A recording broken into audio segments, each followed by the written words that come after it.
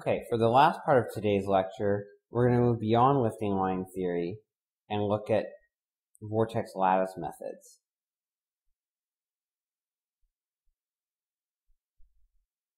So the reason these, this, this is important is that lifting line theory works well for straight wings at medium to high aspect ratio.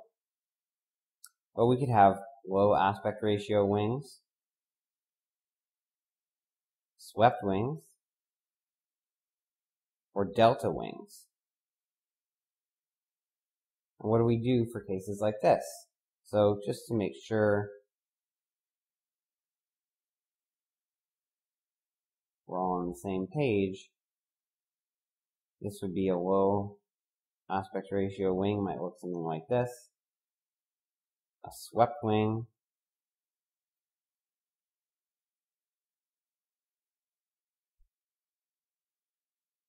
something like this. And a delta wing looks like this. So lifting line theory will not give anything remotely resembling reasonable results for any of these types of configurations. And it's fairly easy to see why. In the case of the low aspect ratio wing, uh, the end effects are so important, um, and also the span or the chord-wise distribution of lift starts becoming more important than this, uh, or as important as the span-wise distribution because the aspect ratio is so low. For the swept wing, it's impossible to, to define a single lifting line that is valid over the whole wing. And for the delta wing, uh, again, the chord-wise variations um, variations in chord, I should say, over the span of the wing are so significant that uh, having a single lifting line model would, would clearly not be representative. So it's beyond the scope of uh, this course to get into the fine details of how to handle these cases, but I will here give an overview of one model that's very useful for these kinds of configurations which is the vortex lattice method.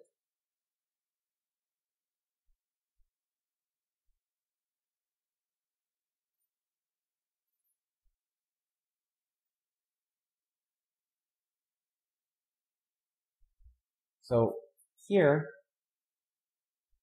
let's say here's our wing, what we do is place a number of horseshoe vortices with strength gamma n on the wing. So here is a vortex panel on the wing. We place a vortex oh, thicker here. It has trailing arms that go down to infinity as we expect. The vortex panel. That's length L. And usually the front arm of the vortex would be at one quarter L. And then that has strength gamma n.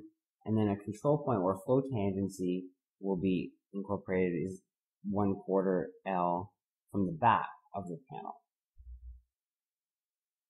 So we cover the wing with these panels to make a lattice of horseshoe vortices. Each one has an unknown strength gamma n.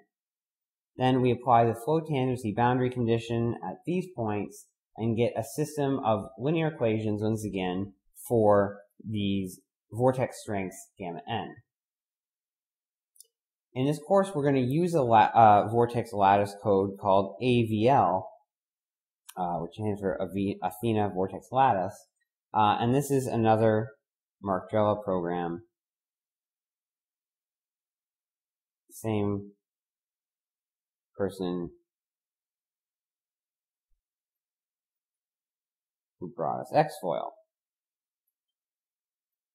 And we can use this to analyze wings uh, and also complete aircraft configurations. So it's even more than just the basic vortex lattice code. Um, but you'll use this in uh, the, the homework assignment next week in the third homework um, to do some analysis on uh, finite wings uh, in addition to using lifting line theory.